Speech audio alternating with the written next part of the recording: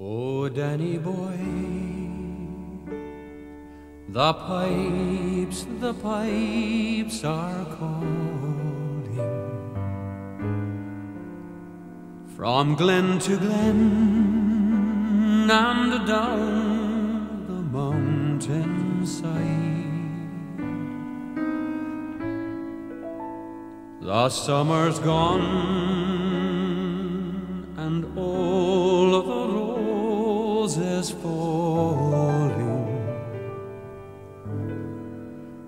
Tis you, tis you must go and I must bide. But come ye back when summer's in the meadow, or when the and white with snow. You'll come a waltzing Matilda with me. Waltzing Matilda, waltzing Matilda. You'll come a waltzing Matilda with me. And he sang as he watched and waited till his billy boiled. You'll come a waltzing Matilda with me.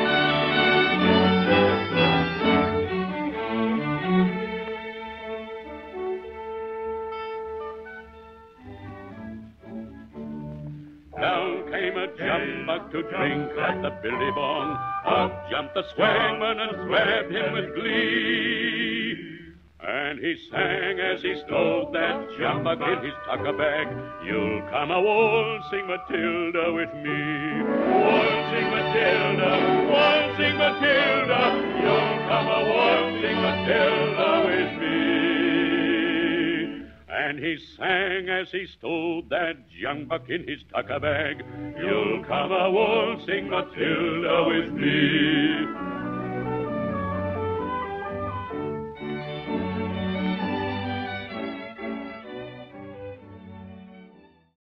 Leaving Sydney Harbour, Tuesday, 20th of October, 1914. Dear Idie, Must write to you as it's your birthday, what? Well, we're on our way. Even when the pilot came aboard on Sunday morning, some of us had our doubts as to whether we were really on the job. Then we got going. A few people on the lawns waving us goodbye, otherwise, no one saw us but for a few early morning birds on the ferries. Then we swung round past Watson's, on South Head with a garrison army camp. A lot of gunners were lined up along the shore. A band started, and we listened a while. Auld Lang Syne and three cheers, which the lads returned. Goodbye and good luck flying in flags from South Head, and we turned our nose south.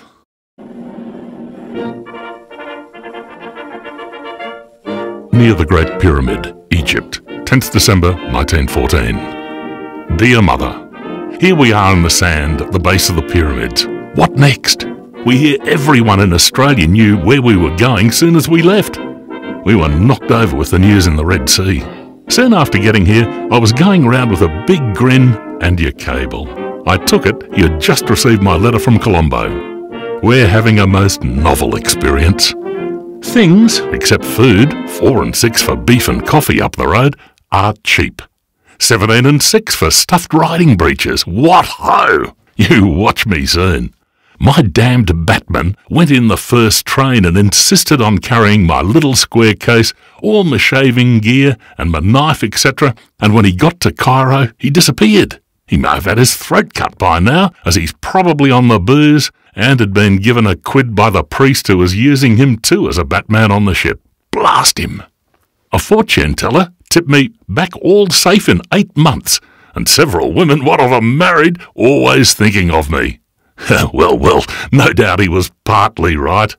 He was a hard case. 22nd of December, 1914.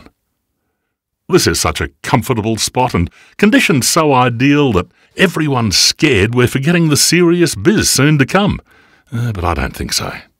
It won't do any good to be always fretting. I don't think many, if any, have cold feet, and I think all the officers have a shrewd idea their chances of emerging whole are pretty slim. However, it may and probably will be months and months before we get into the firing line. The King's message practically told us not to be downhearted that we were stuck here, as we were helping the Empire just the same. Sunday afternoon, 4th of April, 1915.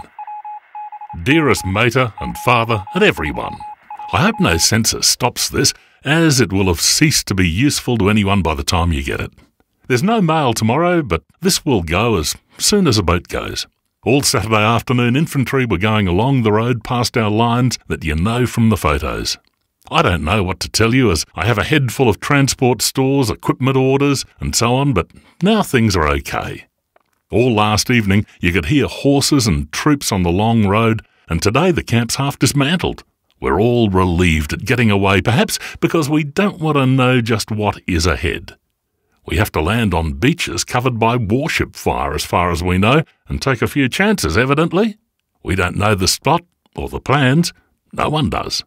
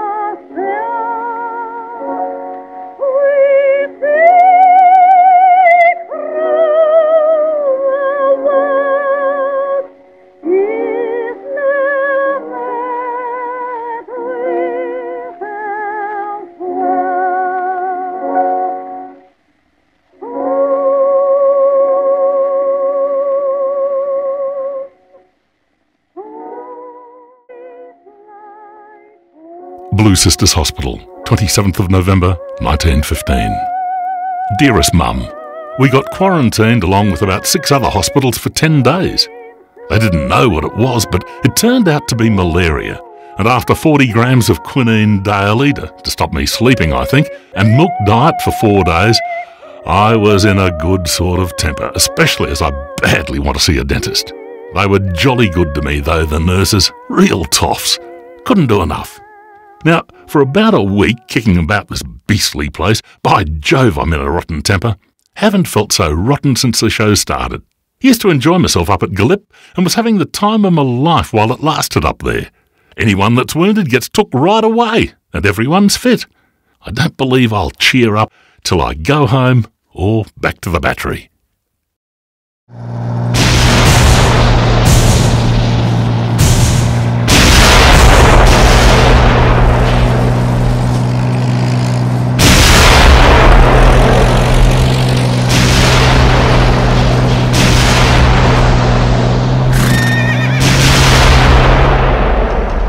France, 11th of June, 1916.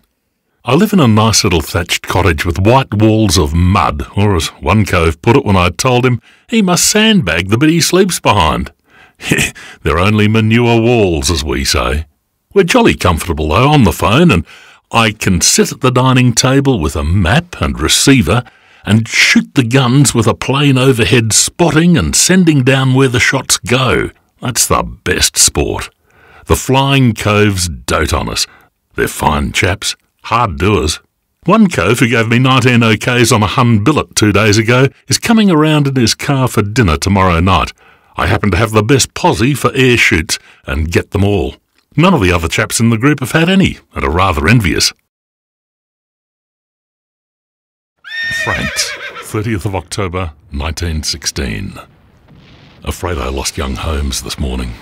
Leg off at the thigh with a shell. Could hardly believe it. He was very fit, but should think the shock would be too much. Not a nice game, this is it. And with all the good coves that have gone over, a chap can be pretty resigned. 8th of October, 1917. Poor old Jim the horse was killed by a bomb at the wagon line. Night we moved in. I'd walked up so as to not get him hit. Every horse in the battery was up here with wagons, except the officers' ones, and they were all knocked out. It was lucky the others were away. I just had a bonza pencil sketch of his head and neck done by, by Power, the Australian official horse artist in France. It's a beauty of him, and I'm sending it home to treasure.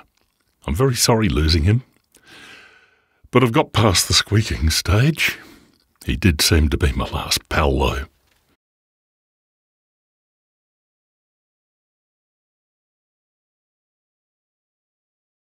Twenty seventh of October, nineteen seventeen.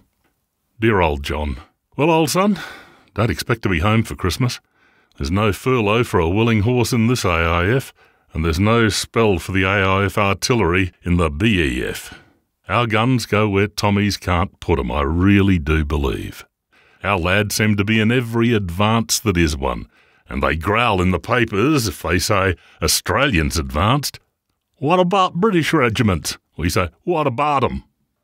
We had a bit of an advance, and my push got their guns over impossible country, to the top of a muddy, shell torn hill, and we were set while the others are bogged, you know how deep, have a priceless set of drivers, and our casualties, I think, are lower than any battery in the AIF, touchwood. Got eight military medals for drivers, and a few more on the way as well for some of the gun line. The drivers are clear bucked up, first time in for any honours, and they're not half pleased. 31st of October, 1917. Dearest Mater, I got JH's letter asking if I had any chance of getting home for Christmas, but I'm afraid that's out of the question. There are so few old hands left now, and my first lads are doing well and not having many casualties so far, though we've been in the thick of everything, that I must stay on and look after them. This bit of a dugout about 14 days ago had a shell lob at the entrance, and bits blew back in and slightly hit two chaps, but it was full of some beastly gas that gives you laryngitis, etc. My voice went completely for a bit. I'll be glad if we can really get out of the line and get the lads a decent spell. Not to mention one myself. It's a rotten strain, and I'm practically the only one that's come right through as a battery commander, which is rather fortunate going, isn't it, so far? Guns nowadays are hell. The infantry call us the Suicide Club. Their job's bad enough, but they don't get the everlasting work in the line that we do. Well, gotta finish this letter now. Blasted gas shells are starting to lob around and have to have a helmet ready. My fondest love to you and everyone at home. Geoff. Five days later, Geoffrey McLaughlin was dead, poisoned by gas.